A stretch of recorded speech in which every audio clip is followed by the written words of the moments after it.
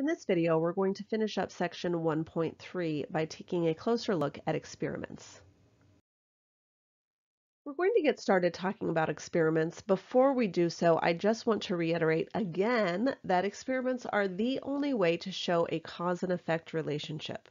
While observational studies are great and they can show a correlation, they do not show cause and effect. Only experiments can do that. And again, experiments are only as good as their design. So let's talk about some of the aspects of their design. Um, I apologize ahead of time. It's just a lot of terminology. So this slide and the next slide, just full of terminology, but I'm going to talk you through all of it before we talk about experimental design. So treatment. A treatment is some condition applied to the group of subjects. And in fact, it's to the treatment group, which of course makes sense. So a treatment is something that is applied to a group of subjects in the treatment group and it's important to understand treatment makes it sound as though it's giving a medication or something like that. Treatment doesn't have to be that. For instance, let's say I wanted to take a look at um, readying students for the ACT uh, test. And so I'm giving a prep course. That could be the treatment, is taking the prep course. So it's something that is happening to a group of subjects. Subjects, of course, are the people or participants or things being studied in an experiment. So typically, if the subject is a person, it might be called a participant. Um, if it's a thing, then it's just a subject. The uh, response variable is so these two go together. The response variable and explanatory variable are the variables being studied. And again, when we talk about cause and effect, we're saying the cause is going to be the explanatory variable and the effect is going to be the response variable. So the explanatory variable was something that we are going to alter, that we're going to um, give as a treatment and then we're going to see the outcome. That's the response. So the response variable is what we are measuring as a result of whatever the explanatory variable is. Again, control group. Control group is just the group of subjects to which no treatment or a placebo is applied. Um, I assume we've all heard that word placebo before, but if you haven't, a placebo is given to the subjects in the control group who typically don't know they're the control group. And it is given because we want to take away the aspect of our minds telling us that something is working or not working. And so, again, placebo effect is a response to the power of suggestion rather than the treatment itself. So for instance, if I'm going to, you know, be in a group and I'm given a medication, I might be given a sugar pill to make it look like I'm given the real medication, even though I'm not, and then say, oh, wow, I sure do feel better. Well, that's the placebo effect, is it's a sugar pill. It's not going to make you feel better. But because I believe it's going to make me feel better, it is. So that's the placebo effect. A little bit more terminology before we look at experimental design. The first is blinding blinding in an experiment has to do with keeping information from either the subjects in the experiment or the subjects and the people interacting with the subjects. So for instance, a single blind experiment is where the subjects don't know if they're in the control group or the treatment group, but the people who are interacting with them, so the people who are um, doing the study, know which is which. A double blind is when neither the subjects nor the people who interact with the subjects know which group each subject belongs to. Confounding variables. A confounding variable is a factor other than the treatment that causes some sort of effect on the subjects of the experiment. So for instance, let's say I am measuring cholesterol and there's a control group of, of people taking a placebo, and there's the treatment group of people taking a medication that's supposed to reduce cholesterol. Confounding variables would be things like the subject's diet, that can affect cholesterol, the subject's hereditary um, that can affect cholesterol. So there are things that are at play that aren't being measured. And when you're looking at an experiment, your job is to do your best to figure out what are those confounding variables and then try to reduce the effect of those confounding variables. And we'll talk more about that in a little bit. An IRB, or an Institutional Review Board, is a group of people who review the design of a study to make sure that it's appropriate and that no unnecessary harm will come to the subjects involved. So if you were doing an actual, real study, the IRB would be a part of that study. And then informed consent involves completely disclosing to participants the goals and procedures involved in a study and obtaining their agreement to participate.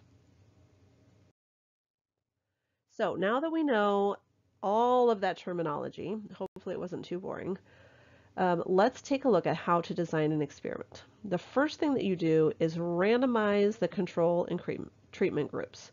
So when we talked about observational studies, we talked about different ways to find a sample. That's what we're talking about here, is we want to include people in the control and treatment groups that are chosen at random. Number two, control for outside effects on the response variables. So when we just talked about those confounding variables, that's what I'm talking about here. So we're looking at outside effects, we're looking at things that might affect the response variable other than the treatment, like confounding variables. We want to do our best to control that. And then number three, in the real world is the most important thing, is to replicate the experiment a significant number of times to see meaningful patterns. And quite often you will see the researcher replicate the experiment several times and then provide all of the information as to how their experiment was set up so that other researchers could duplicate that experiment and see if they come to the same conclusion. So let's take a look we're going to read over an experiment and we're going to answer these questions. So I'm giving you the questions first so that you can have them in your mind as we're reading the scenario together. We're going to look for the explanatory and response variable. We're going to look for the treatment. We're going to look for which group is the treatment group and which group is the control group. What's the purpose of administering saline to group B? And is it single blind or double blind and is that the best choice? Let's read over this experiment and I have put a very, very tiny representation of those five questions in the top right corner of your screen so that we don't have to keep popping back and forth. So we're going to work through this together. Consider the study in which neurologists want to determine if taking intravenous dose of vitamin C will reduce the amount of nerve pain reported by patients. The study was narrowed to focus only on patients with a nerve disorder, multiple sclerosis, after the study approval, the neurologists solicit volunteers who are patients with MS who are reporting nerve pain. The participants are then randomly assigned to two groups, um, each having 20 participants. Participants in Group A are administered intravenous doses of vitamin C and their nerve pain is tracked. Participants in Group B are administered intravenous doses of saline, which has no active ingredients, and their pain levels are also tracked. The patients are not told which of the two groups they are in. However, the nurses administering, administering the IVs are aware of the group assignments. After a predetermined length of time, the amounts of pain reported by the separate groups are compared to determine if an intravenous dose of vitamin C will reduce the amount of nerve pain. So, whew, that was a mouthful. What in this case, again, we're not going to write them out, we're just going to talk about them. Identify the explanatory and response variables. So again, the variables are the things that we would be tracking or looking at, and we want to determine if taking an intravenous dose of vitamin C will reduce the amount of nerve pain, and so the explanatory variable, the one that would explain the response, would be uh, the intravenous dose of vitamin C. This would explain the results. And then the amount of nerve pain reported would be the response variable. That would be the response to how much vitamin C they are taking. what is the treatment? Well, the treatment is what is being applied to the treatment group, and that of course would be the vitamin C. So again, the vitamin C. And specifically, we would talk about what dose of vitamin C would they get. For C, which group is the treatment group and which group is the control group? So the treatment group would be group A, who are given the vitamin C. So that's treatment group. And then their nerve pain is tracked. Group B are administered saline, and then their pain levels will tracked. So this is the control group. The question for D says, what's the purposes, what's the purpose of the saline? So obviously that is a placebo. The purpose of the saline is a placebo so that those people in group B don't know if they're actually getting vitamin C or they're getting saline. So that is the purpose, is that it's a placebo to reduce bias. And then of course, is it single blind or double blind? Well, because the Patients are not told which of the two groups they are in, but the nurses know it is single blind. Now, is that the best choice? Uh, no, not in this case. Double blind is almost always the correct choice. Now, why would it matter?